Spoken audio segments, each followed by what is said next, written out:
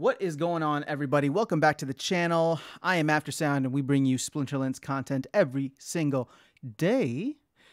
And we got some crazy news for you guys. Uh, I also stream over on Twitch at This Is Aftersound, so come by, say hello. We do giveaways every single stream, and uh, would love to see you over there. So we do giveaways there. We do giveaways here. Just make sure to leave your name, in-game username, in the comments section.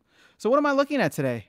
Uh, SPS and DEC are through the freaking roof.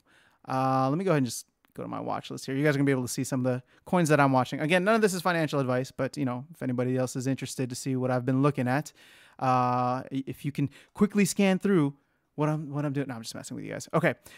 Let's look at SPS. I'm on CoinMarketCap right now. It is Sunday, October 10th at just before noon on uh, just before noon Central Time. We have crossed 90 cents. We are so close to that $1 mark. We are up 36% since last night. Last night, I feel like, is when we, we really started to make a move. So we're up 36% overnight. We're up 65% on the week.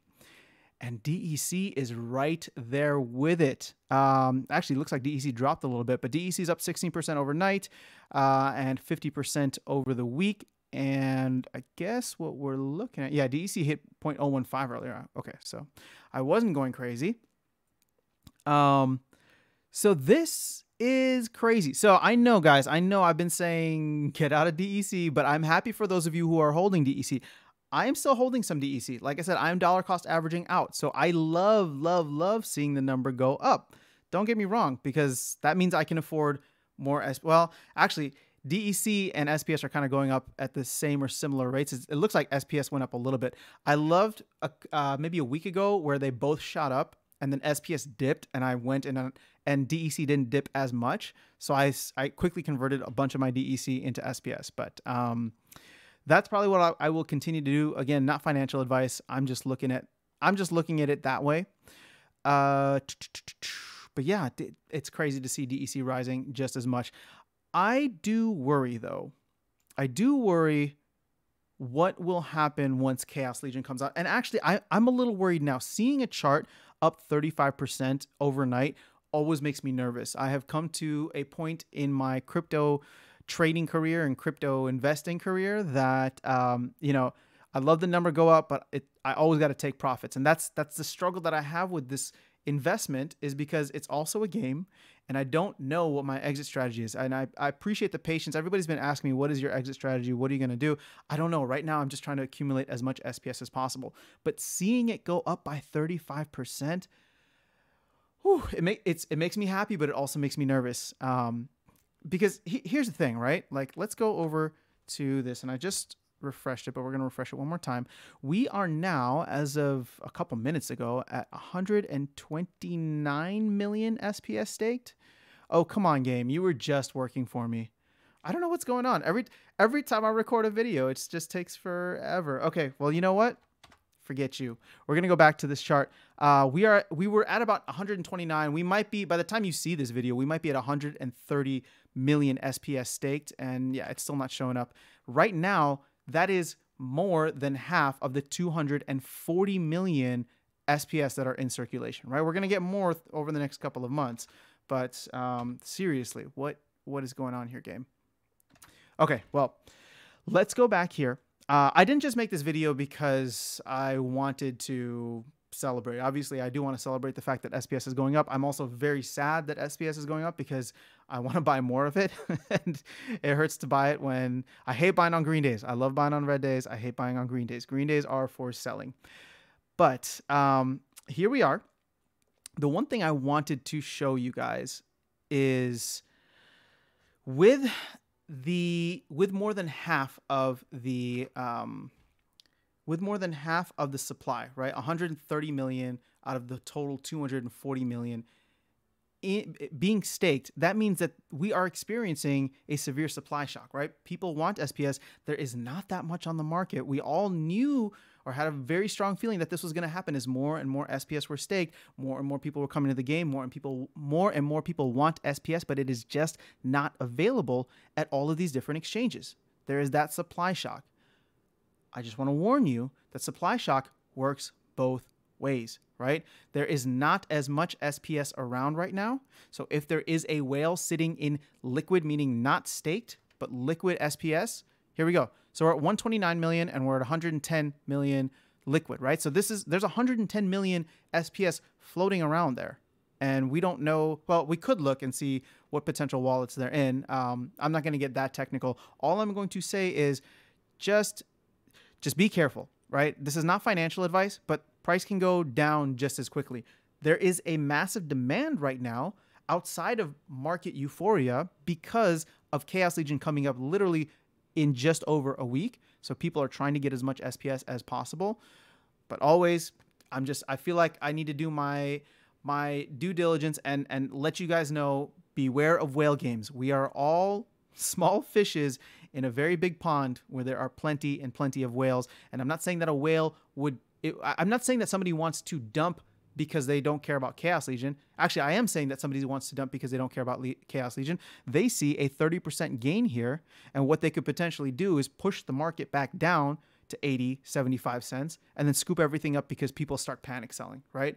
And there are a lot of people out there who have no idea who, who Llamaicron is. There are people out there who are buying this token because they heard it's a cool game, but they don't care anything about the game and they are just here for the investment and token price appreciation. And they will sell if they see a cascading uh, kind of liquidation or some or a whale that's pushing the price back down. They will take profits, right? For me, just being fully transparent with you, I, all, all of my SPS is staked. Literally all of my SPS is staked.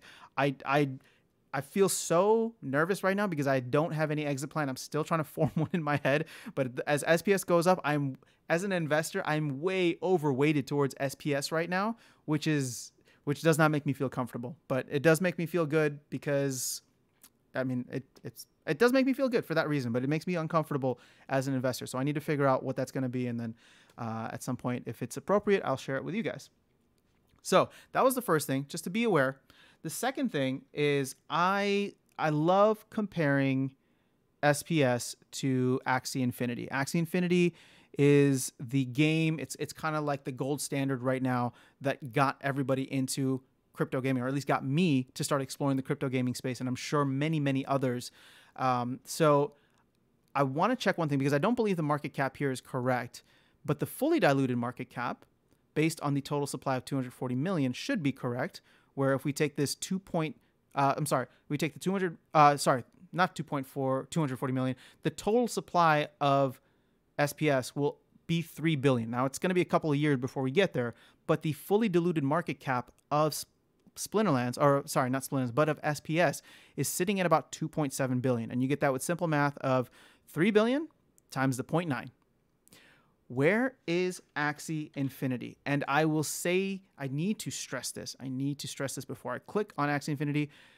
There are different games, different player bases. We it's it's not comparing apples to apples, but I want to show you why I'm still bullish on SPS. And that's because Axie Infinity has a fully diluted market cap of 33 billion. Now, does that mean we are going to get to 33 billion and essentially do like an 11x from here? No, no, I, I, I don't know. I don't know. But the fact that the crypto gaming space still seems so small, and yet the largest, the largest game in the space is at 33 billion. And, and Axie's had its issues, but they're working through it. In the same way that Splinterlands is going to have its issues, but we'll work through it.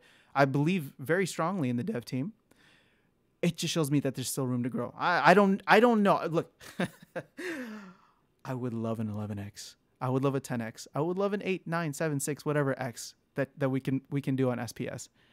All I'm saying, I don't I'm not saying that we're gonna get there. I'm not saying that we're gonna get there tomorrow. I'm not saying that we're gonna get there next year. I'm saying that this game is awesome, that the crypto gaming space is still very small, and there is a lot of money, both investor and I'm sure retail money, like us, right? People who are just playing the game that is flowing into the space. And what I love, love, love about this versus the Bitcoin kind of four year halving cycles and, and kind of market, uh, just market turmoil that happens from time to time, bull and bear markets, is the fact that people don't stop playing games, right? SPS could go back to 20 cents today, and I would still be playing Axie Infinity. Or sorry, not Axie Infinity.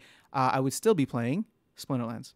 So that's all I wanted to share with you guys. Again, I know this is a little bit more technical. There's a lot of people who are just in this for the game, but um, you know, if you, if you know me and if you, you've been watching these videos, I was an investor first. I came for the investment. I stayed for the game, and these are some of the things that get me still excited about not just being a player, uh, but being uh, you know an, an, investor in the space and being a player. Why why the hell not? I mean, why, why wouldn't I want to be playing a game that has a very rapidly growing player base and has assets that are appreciating in value and just a solid overall game economy.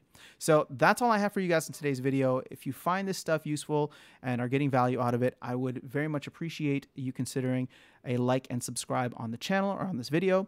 Uh, it's a free and easy way to support the channel.